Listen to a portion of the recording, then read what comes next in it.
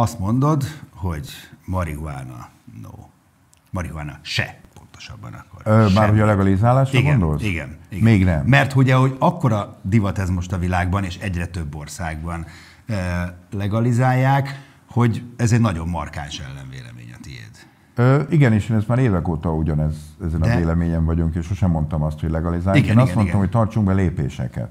Mutasd magad! Nem a mozikban,